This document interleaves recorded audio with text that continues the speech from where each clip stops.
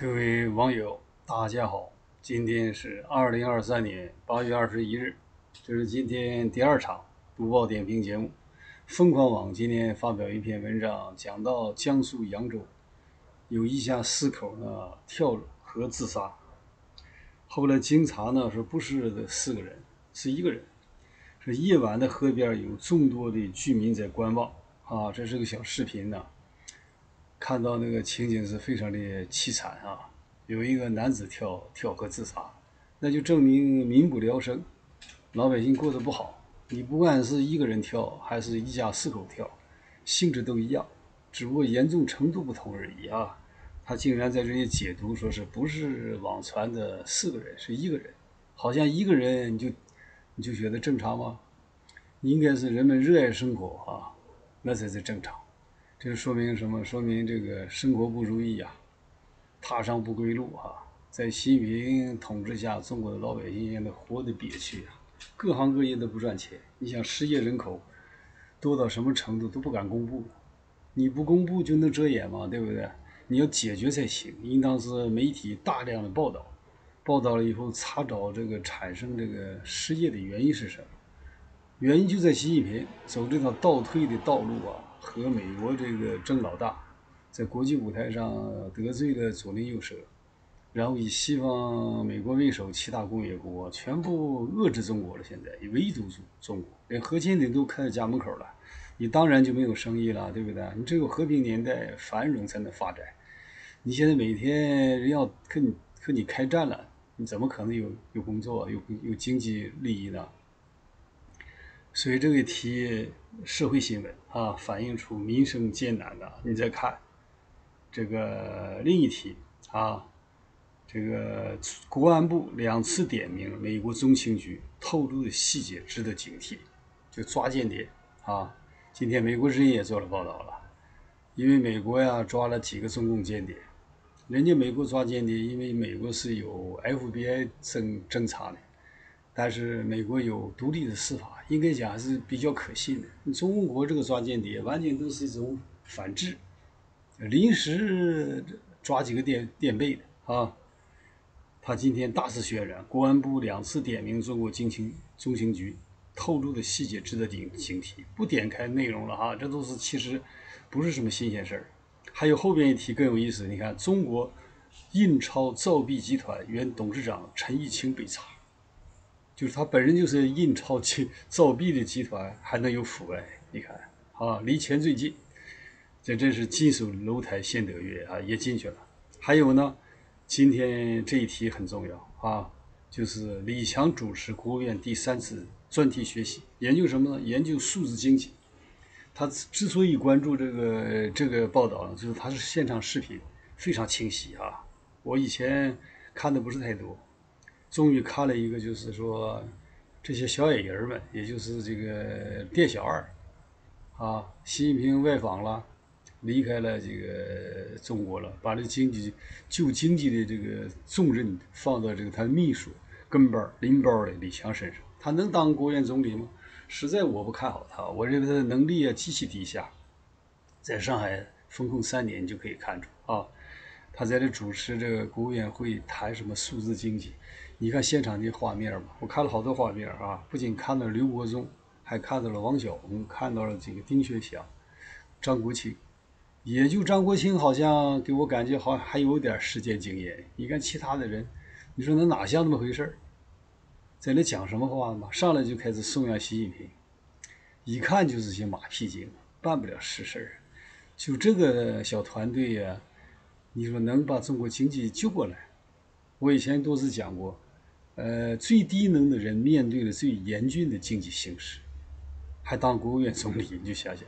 其实现在对李强来讲，当务之急，你要是真正听我的话，你就可以增分，就什么，你到涿州、巴州去现场，站在那个这个水里边，你哪怕做做秀，模仿模仿人家温家宝，是不是啊？你给老百姓办点实事儿。你看那个涿州、巴州老百姓。呃，围困这个省委书记汽汽车，省长的汽车不敢下来。这才几天的事儿，那现场视频，为什么要问呢？就唯一人家家破人亡，什么都没有了，有的亲人已经死了，一个死一个不两万块钱，有的是这个财产全部被水浸泡。官方媒体现在每天都在大肆渲染什么，说是是霸州还是这个涿州洪水淹了，造成什么出版集团的书记受损，书籍，呃，印刷印刷那些破书，损了就损吧，都是习近平语录著作，就是不是你其他的书籍前面再加上几句话就吹捧习近平，我看淹了更好，变成烂泥浆才好，少去毒害别人的精神思想，对不对？是好事。你要关心什么？老百姓这个怎么办？是不是啊？李强也不敢去，这几个人在这忽悠啊！你看有刘国忠的镜头，刘国忠是个破产市市啊，这个这个黑龙黑龙江省鹤岗是吧？我非常熟悉，因为什么？因为我自己的大舅、小舅都在那个地方，但现在估计都不在了哈，年纪太大了，好多年了，也不敢联系啊。你说中共还开会什么乔决？你乔决什么？你对这个一个志愿军的后代啊，用文字狱进行政治迫害，不过现在都倒了，你也没给我平反，你有什么理由来来指责我啊？你搞那些名堂没有用，我跟你讲，你只能是你自己翻船啊！我再次跟你讲啊，我要讲的时候这李强这个会上那王小红也坐在那个地方，你说你能干什么？整天就能镇压老百姓，你能保护自己老百姓吗？你以为手里有手铐子，完了你就可以随便抓人，把中国今天搞到今天这个程度？你想想，这警察自从习近平上来以后，没有一个警察因为执法犯法受到处分，我都没看到啊。从徐春河开始，说在那个黑龙江的庆安，当着孩子的面给他爸爸杀掉了以后，姓李的警察都没受处分。你说哪个国家是这样？胡作非为，徇私枉法，枉法每天。你怎么？你以为你手里永远拿着手铐子，是不是啊？你这样搞下去以后，将来我跟你讲，一定会和王立军一样。我告诉你，没有别的路，你就是共产党不倒，你在下一场内内斗当中也也成为牺牲品了。你今天整多少人，人多少人学你怎么整你，一定是这结果。不要不听劝，我跟你讲吧，最好的朋友是能够批评你的朋友才行。啊，我不多讲了，就是你看这个现场的画面，你就知道这些人怎么能给中国经济搞好了。没有一个就能敢批评习近平，而且这恰恰是习近平造成的中国现在这个权力过于集中啊，所有的事儿都听着一个人的，结果把今天中国搞到今天这个程度啊。我们再来看另一条消息，你看内斗啊，借这个医疗腐败的反腐败开始打击政敌，甚至什么呢？搞不好要灭了钟南山呢。今天海外万维网一篇文章，他讲到什么呢？讲到目前这反腐败啊，涉及到了这个钟南山啊。当然文章很长啊，前面这一部分不值得关注啊，我都跳过去。中国的医药反腐矛头指向了钟南山、李兰娟。前面这一部分呢略过去啊，关键感兴趣的，就是他讲到钟南山这一这一部分啊，因为这个医疗系统，你整来整去，肯定都是这些什么吹捧习近平的马屁精占头牌啊。你看，他讲到钟南山、李兰娟在武汉新新冠爆发时表现，赢得了民众赞赏。民众面赞赞赏也是官媒推动的。其实他还有还是有瑕疵的啊，藏了很多秘密啊。说但在疫情放开时，又让不少人感到失望。现在医药反腐展开，名气越大，地位越高的人首先受到怀疑。网友开始通过各种信息挖掘他们可能与商业腐败的联系。这里就讲到钟南山，钟南山一定有非常严重的腐败问题。你看，作为中工程院院士、国家呼吸病专家，为国人防疫做出了很大贡献，还获得共和国勋章。医药反腐的飓风之下，他又首当其冲受到质疑。首先是什么？他的挂号费，你要找他看病，专家挂号费是挂一次号一千两两百块啊！你这是为谁服务？就为权贵服务和有钱人服务，普通老百姓，涿州、巴州老百姓要着急看病，连路费都拿不起，连挂号费也拿不起啊！我知道，我要是回去，这你这两千块钱挂号费我拿不起，我上哪拿两千？你再减俩零吧，差不多啊。这是从目前国内专家的挂号费来看，这个应该问题不大。到网上搜搜，比他名望小的医院的专家是六百到八百，这本身就是一种腐败。你想，医疗是什么？是救死扶伤，是赚钱的吗？你赚钱，你就别当医生了。医生，你看古代有个什么词儿叫悬壶济世啊？怎么叫悬壶济世？过去不都是中药吗？是吧？煮中药，你要把那个中药端瓶子，端过你的头顶，要比你自己都高明，救所有的苍生，有钱没钱都要救救病，看病治都是这样，看病治人救人的，是让你赚钱，赚钱就做生意吧。你看原先那个大连老专家那何鸿邦就非常好哈，何鸿邦他治疗那个萎缩性胃炎，胃炎非常厉害。我原先有萎缩性胃炎，他给我治好的。我写过一篇文章哈，给他写过一篇文章，登在《瞭望》杂志，你们可以找来看看。这个这个老先生非常好，那他到死了，他就这么一套破房子。他那个徒弟哈学他，呃，后来赚了很多钱，现在开个诊所在那个南石道街。他的徒弟哈，我都我都认识他。我要讲的是什么，人家真正的做这个干事业的人呢，人家不是为了钱。你看现在这个钟南山，你说这个钟南山像像什么？我看更像个商人，是个投机家啊。他就讲到钟南山说，关于就那钟南山事还没完呢，人们现在指责他这个挂号费一千两百块钱抓不住他的把柄，说这很正常。根据公开新闻显示，钟南山曾任广州呼吸所医药科技有限公司董事长。你看见没有？他到底什么身份？他是企业家，啊，这家注册在零九年的民营企业实缴资本六千万，营业范围包括什么呢？医学研究和经验发展、医疗器械生产、销售、租赁等。这不是腐败是什么？你说他这个身份，呃，在搞这么个公司，你你说他能没有生意？你说公平不公平？连他都腐败，你能说这还能批评别人？说二十个自然人和股东当中啊，广东钟南山医学基金会赫然在列，广州呼吸所医药科技有限公司还参股多家科技中业生中中介、生物医药医疗机构。你看到这里，你就知道为什么他能违心的吹捧习近平，他怕习近平整他。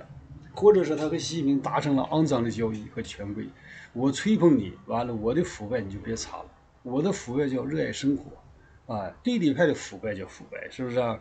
这本身就是不公平的。他这个身份其实就是你就拿你工资就完了，你就其他都不能做，因为你有了名，你还想要利啊？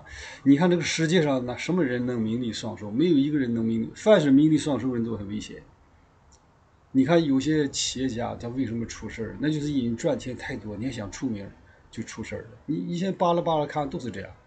啊，你小小建华、吴小吴小辉怎么出事儿？那不就因为他到川普家吗？跟川普的女叫库什纳关系好。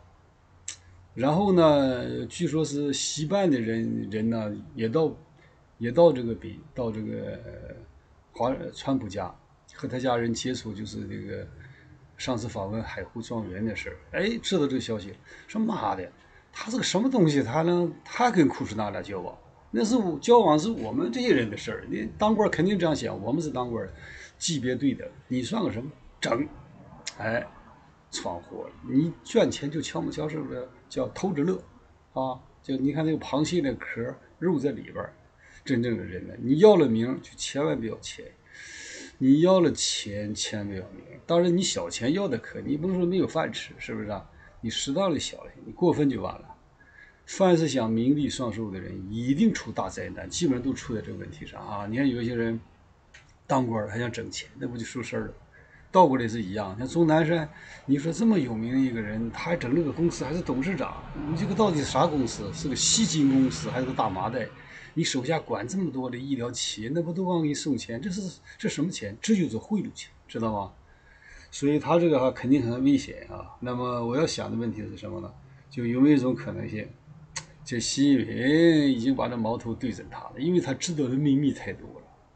我跟你讲，他很危险，实际上啊，他讲二零二零年六月二十三号，深交所中小企业这个板块上市的企业呀。叫叫 ST 雪莱啊，我都不知道这什么企业，我不炒股票啊，咱们口袋里没钱。拟与广州呼吸所医药科技有限公司签订未来之光战略合作协议，这一信息刺激了这家连续亏损两年、即将面临退市的医药器械企业，连续四个交易日涨停了。该公司选择在疫情初期和钟南山任职的企业合作，而且还是不涉及到具体交易金额的框架约定。难免让人质疑背后的背景和动机呀。你想想，就这一条就行了。根据工商信息呢，离二零二零年七月三十三号，钟南山退出了公司董事长之后，周荣接替董事长了。你看，有些人，你别表面他退了，反映群众反映意见大，退了身退名不退，名退身不退，还是有利益，对不对啊？所以这个这篇文章讲的非常有意思，我不详细讲了啊，因为篇幅非常长。只是不仅讲到了他，讲到张文宏，还讲到了这个郑捷，还讲到了这个什么李李兰娟等等等等啊。咱不去多讲，就是有一些专家呀，即使不是他本人经商，是儿子亲友三亲六故，就像当官的，当了局长，在这个城市里三亲六故都做生意。你比如说公安局的领导吧，完了他的亲属就开汽车修配厂。你就想想吧，零配件厂，我给你举个简单例子吧。你比如说你车检啊，车辆不是每年检一次吗？检一次到交警支队不通过，你这车不不合格，然后你去找他的亲戚，啊，他亲戚就开也是开这个厂了，也车检，哎，或者是他不搞车检，他是汽车配件，你到时买几个轮胎啊，钱花完了，他给他给他他他叔叔还是他哥哥他弟他妹妹打个电话。我有个朋友啊，车检没通过，来吧，再去了和原先一样，嗖一声通过了，就这么简单，全都是这个。我就跟你讲吧，大官大贪，小官小贪，无官不贪，中国怎么能好？我太了解了，我不愿意讲太详细哈。我再讲一遍，你你大连公安，你就因为我批评批评你们，你们还想琢磨琢磨我？我要告诉你啊，你把你心脏准备好。我跟你讲，我十来年，你我太了解大连那些当官的。这你不能在澳大利亚，这是加拿大，是美国。我要告诉你，你有很多人都有房产啊，三级你们有一是三级六部找代理人，代理人是谁，咱们也知道。我告诉你，你你要想好了啊，有有点迹象啊，就因为我必须我能表扬你啊，你就想你要是入我的，如果是我的话，受这个政治迫害，这个冤屈，到现在你都不给我恢复名誉。不过任何补偿，我什么都我给共产党干了大半辈子媒体，什么都没有了，我能和你完事儿啊？你就讲很简单的事儿啊。今天又讲到这里啊，我你好好准备好，你从陈文清开始到底下，到你公安局局长，你听好了啊。我今天接着节目告诉你，钟南山也是一样啊。钟南山他这个肯定是我跟你讲有问题，问题是什么？现在习近平不一定保。他，因为你想，新冠刚开始的时候，武汉掩盖了多少秘密呀？说不定习近平也想利用这个机会，名正言顺的就给你找个地方，是不是？所以钟南山很危险啊！这篇文章，我们来看另一篇文章，更严重的问题是吧？就是金三胖啊，朝鲜金正恩出席战略巡航导弹试射，我们来看看这是威胁世界的 利器啊！中共前面小兄弟是吧？就朝鲜宣布，美韩年度大规模军演之前，进行了最新一次巡航导弹试射。据朝鲜官方媒体周一八月二十一号报道，朝鲜领导人金正恩的视察一支海军部队，并监督了战略巡航导弹的试验呢。金三胖的作用主要是什么？在这个中美啊原先就是表面是繁荣合作的年代是有意义的。为什么？中共狡猾呀！我不能挑衅你美国，我不能这个这个平衡这个大国之间的矛盾。我让金三胖，是吧？以自己的名义，实际背后是中共支持，这个在搞事儿。这个朝鲜半岛现在意义不大了，因为中美现在公开对抗了，对不对？它是个前沿阵地。这篇文章讲，说金正恩视察了在东海啊一支舰队，并观察了水兵准备发射战略巡航导弹的演习。朝中社没有透露这次视察是何时进行，也没有提供发射导弹类型的详细信息啊，但指出导弹迅速击中目标，没有出现任何失误啊。因为他现在已经讲了，呃，他可能首先运用运用运用核武器，对不对？美国多多少少挺在乎的，应该讲说这一消息是在一年一度的已知自由库顿演习开始之前宣布的啊，为期十天的这个大规模的美韩。军演定于八月三十要结束，旨在呢应对朝鲜日益增长的核武器试验、核武器威胁。说平壤认为呢，联合军演实际上是在为入侵朝鲜做准备，并一再警告将会采取压倒性的行动予以回应。我们来看看他这篇文章怎么介绍三方合作了啊？他说，周日八月二十号，朝鲜警方说呢，疑似朝鲜黑客曾对在联军战争模拟演习中心工作的韩国承包商进行了电子邮件的攻击。美国总统拜登和韩国总统尹锡悦，还有日本首相岸田文雄在戴维营举行峰会几天以后呢，朝鲜宣布了对巡航导弹的试验，因为习近平很害怕这三国。站在一起，是不是啊？搞点事儿，但现在和美国还没彻底翻脸，也需要金三胖动一动，对不对？金三胖得表演表演。金三胖其实是个傀儡啊，吓唬美国。在上周五举行的新闻发布会上，说美日韩领导人宣布峰会结束以后，三方在安全问题上密切合作的新篇章即即将开启。发光这篇文章介绍讲，他说法新社指出啊。这在不久前是不可想象的，因为东京和首尔之间的紧张关系与日本在1910年至1945年占领朝鲜半岛的残酷历史有关。这次会议是三国领导人首次单独举行峰会啊。如果说中国是主要议题，那么朝鲜问题提到了峰会日程。朝鲜的问题也是最大的问题，现在就是战争还没结束啊，就是我爸爸那个参加抗美援朝战争啊，没有停战协定啊。他随时开打，他要美国打别的仗，美国是民主国家，议会民主的进会议会授权，啊，国会的授权。朝鲜战场上不用，开开打马上就打了，一打就是世界大战了啊！所以这个是最最敏感，应该是在朝鲜半岛。因此，必定朝鲜半岛的我的家乡，可爱的家乡，我很为他担心啊！说为什么？你看丹东那个地方，房价都不行了，是吧？大连也是一样啊，因为你将来要打起来，让人家不第一轮就是。是不是啊？你那个大连那些当官的，你就想想你自己的生存就行了。你看今天琢磨这个琢磨那个，是不是啊？觉得自己穿一身警服，还想着斗气斗气别人，是不是啊？你就想你自己还能存在多久？就现在这个形势，你跟着习近平这么混下去，一旦战争爆发，你有没有你第一轮？你就想一想，是不是啊？你那旅顺海军基地就在这儿，你想人家那不轰你吗？人家俄亥俄的在你那近在咫尺啊，你不是开玩笑的，我跟你讲啊。我们来看另一篇文章，在上一场没讲完呢。为什么遏制中共对台动武？因为大家都希望和平啊，不希望发生战争，不想希望死人。你看俄乌战争打了不到两年，死了多少人？三十万呢，年轻的生命，不开玩笑的，我跟你讲啊，你以为战争是玩的吗？是不是啊？说香港的英文的英文的《亚洲时报》发表文章了哈。上一期场我已经给大家介绍了啊。接着接着后一部分，他说乌克兰战争使中共国更有可能攻击台湾的论点，主要集中在美国制裁威胁未能阻止俄罗斯入侵。说俄罗斯总统普京认为呢，被川普总统任期削弱的美国不愿意投入自己的军队来对抗拥有核武器的敌人。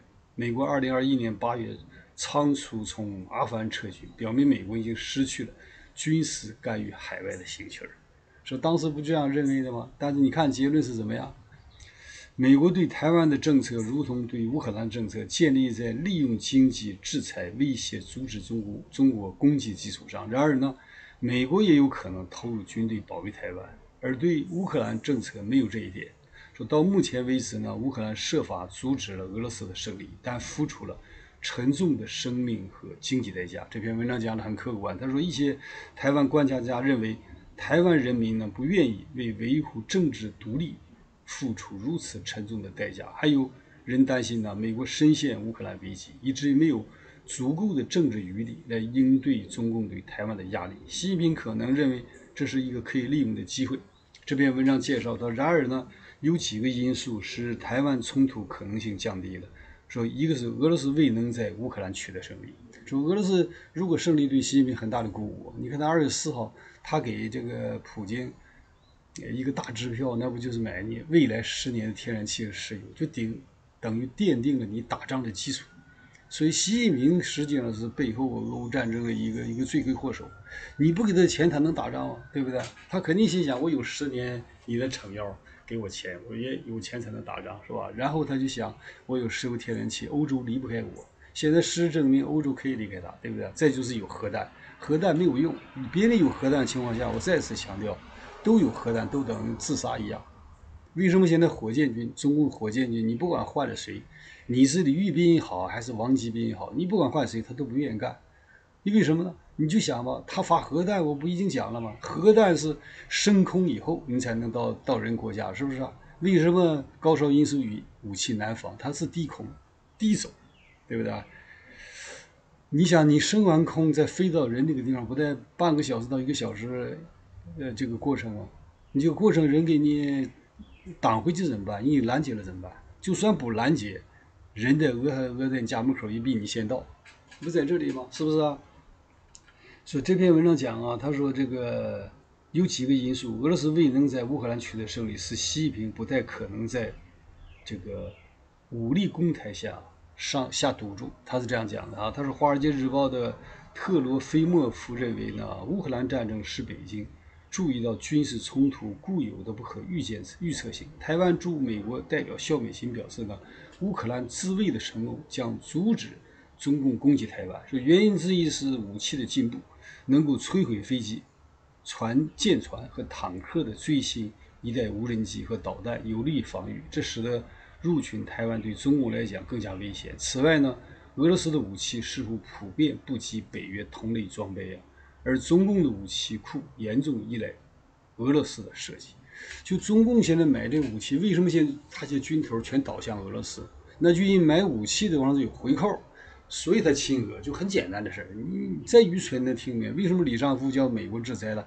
美国为什么制裁他不制裁别人？那就是他当装备部部长的时候，他购这武器，他有回扣放在美国，美国看着钱很大，制作出来大肥肉，他给你扣了，到现在他不给你放放行，这不在这原因吗？你就一块钱他能扣你吗？那反过来讲，李尚福肯定因为这个事很闹心的，那肯定不会给习近平面子，哥们就是不干了。也不能和奥斯汀谈话，我不管你怎么讲，你和美国勾兑，我就给你放气球，就让你谈不成。他是坚定反美，对不对？你想，你要是钱都叫美国扣了，你不恨美国吗？是不是？这很简单的事儿啊！我跟你讲，你就明白了。说此外呢，乌克兰战争将欧洲盟友团结在美国的领导之下呀。北约盟国加大了国防开支，芬兰在二三年四月正式加入北约了。你看这次芬兰不就是吗？丹麦不是吗？是吧？就坚定的给他 F 十六战机，这不在这里吗？是吧？说瑞典正在等待最终批准呢。欧盟此前不愿加入美国与中共国的贸易战，然而呢，中共支持俄罗斯入侵乌克兰，使布鲁塞尔更愿意和美国一起抵抗中共主导全球贸易关键部门的努力。他讲的这几个原因啊，他说，欧盟主席冯德莱恩二三年三月曾经讲，他说。中国在国内变得更加的压制了，在国外变得更加独断。北京非常清楚，在台湾问题上呢，越轨将进一步团结各国，对中共国进行贸易战，很难评估啊。对俄罗斯的制裁如何影响中共国的决策算计？制裁严重损害了俄罗斯的经济，但并没有阻止俄罗斯发动战争，因为它的制裁是挫败了经济。刚才我不讲了吗？你中共买的十年。天然气、石油，如果现在中共宣布说我不买你的了，因为我现在给你这个钱，我现在才知道我是被你骗了，我以为这个钱是用于和平，现在用于战争，我给你终止了，俄罗斯马上的就停战了，他没有钱了。习近平能吗？习近平想要这样的话，普京要翻脸的话，把我军头这事都整出来，我不完了吗？他为什么上一场这个他要参加乌克兰，就是在在。呃，在沙特举办这个就所谓这和平会议，你看这个普京马上翻脸了，直接在黑龙江边边境抓中国人，给带到小黑屋整了一一通，啥意思？那就告诉习近平，你如果现在反水已经来不及了，明白吗啦？你国际舞台上，你以为普京啥呀？老毛子，你这打交道，咱们看那些过去这个历史，黑龙江的历史，你到那爱辉教育纪念馆去看黑龙江省，我都走遍了。那里不都有记载吗？所以习近平麻烦是很大，我跟你讲，他想从俄罗斯脱身也难，何况共产国际当年有多少秘密啊？共产党的黑材料，共产党哪是这两万五千里长征？他不是长征，他就跑到苏联边境去拿钱。因为张国焘说我不拿钱，我得靠倒大烟养着我们四万红军。你红一军，呃，没有骨气，你愿意拿 拿借拿一个海外敌对的势力钱就拿吧，咋不拿？你拿列宁、斯大林钱拿钱，我不拿。他这么，他俩翻脸了。要怎么红四军南下？就是南下，他因为他他南下到大城市打仗，他失败了，失败他不得不又倒向毛泽东去红一军，对不对？这都是历史，你看那个研究历史，你研究深就行了，就了解一些历史。我跟你讲啊，那么这篇文章讲啊，就是现在中共国很难从俄罗斯脱身呐，这里有历史的渊源，有现实的隐患啊，这习近平的误判。这篇文章讲呢，他说很难评估俄罗斯的制裁如何影响中共国的决策算计。制裁严重损害了俄罗斯经济，但没有阻止他发动战争。鉴于中共国与欧洲和美国的高水平贸易，为报复武力攻击台湾而实施制裁，很可能会严重损害中共国经济。现在没到时候，你比你比如说下一步他跟菲律宾打仗，对不对啊？菲律宾马上要第二次补给，提供补给。第二次补给，美国肯定要保护，对不对？美国不可能打空炮，打空炮以后，人家就不给人家九个军事基地了，那倒向中共就怎么办？是吧？所以说，姚成说的中共国要打菲律宾，美国不管，我们等着看。我认为美国一定会管的，怎么会不管呢？你像现在这时刻已经和过去不一样了，不是过去那个时代了。现在这时代，你只要动了一个人，美国管。为什么美国有足够的条件管？人，我刚再讲一遍，人人核潜艇放家门口，人做好最后的打最后的打算了，就是不惜跟你核战。人把这个路给你堵死了，人怎么玩你都行，就很简单，对不对？人现在有钱人的已经不是在阿富汗战争的时候，那时候不行了。那时候为什么布林肯挨训是大了头一声不吱啊？习近平说时和势都在我们一边，是吧？确实那时候在都在你那一边。你现在哪是？说我为什么说老拜登比川普更有办法？就在这里，人是不讲空话，一步步都给你围上了以后，人才讲大话，对吧？这篇文章最后讲说，中共事后希望看到俄罗斯战争结束啊，但条件是其盟友俄罗斯可以接受。就就中共现在很怕这个继续打下去，他只要直接支持俄罗斯武器的话，美国给他一个是经济制裁，提出十万倍系统，就彻底就完蛋了，就脱入断链了。另一方面呢，你就想他现在这个内斗这么激烈，军头打仗的话，他把权力下放给军头打仗，那等于什么？你等于军头个个都如狼似虎了，是吧？你当兵只要是让他打起仗来以后呢，异军突起，突然缺一个将领，遍地都是蔡锷，你就想想你，你能舞动了你军队吗？就习近平这个能力实在是低呀。我就给你讲一条就行，你就看蒋广正的那个小朋友，今天早做那个视频，后边摆那个酒，那个那个水杯，那个水杯是水晶杯啊。他自己讲说是都是李强办公室，就算不是李强办公室的，你那个水杯是是国务院特制的水杯，都能到人这个自媒体的桌子上，你就想你这个是个什么形式？你吹什么水？毛泽东时周恩来那个办公室的水杯能到人的自媒海外的媒体床头放吗？这个这个案头放的吗？你就知道这个这个两面人有多少，内就内鬼有多少。你打什么仗还打仗，是不是啊？就这一条就行，就看小事就可以看出来啊。就人心已经丧尽了，就身边都有人都是吃里扒外、暗度陈仓，对不对？那水杯，你看写那字不都人都那亲笔字、李强的字、习近平字，不都挂在墙上？那是假，都是真的，都是他确实习近平写的。我跟你讲，能整出来呢是有通道的，是吧？就是很有意思啊。当然，这是另一个议题啊。我们来看这篇文章最后怎么讲。他说，中共已经接受了俄罗斯的说法呀，即北约应对战争负责，但仍然口头上强调尊重乌克兰主权、领土完整。这些原则是一个中国政策和北京对台湾主权的核心呢。中共未能谴责俄罗斯入侵乌克兰，使其处境矛盾尴尬。刚才讲到了，他不敢谴责了。走到今天，他已经被俄罗斯绑架了，完蛋了。从某种意义上讲，如果他在发动战争的话，就被军头绑架了，不得不往下走。往下走一定是找死。我跟你讲，那不发动战争呢，在家里这么等，等北约、等美国干掉了这个俄罗斯以后，还是要围堵你中共，是等死都是一样的。我跟你讲，早死晚死，因为你这个政治制度腐朽堕落了啊。这篇文章最后的一句话，他讲啊，这个但他清楚的向各方表明啊。就是对台动武赌注很高，一旦误判将付付出惩罚性的代价，啊，也就中国未能谴责俄俄罗斯入侵乌克兰，使其处境矛盾尴尬，难以发挥和和平调解人的作用。和平调解人必须是第三者，你本身给了他钱，他打仗，他杀人，你是和平调解者，仲裁角色，那不可能的是吧？谁不那么愚蠢认同你是调解调解者啊？好，谢谢，再见。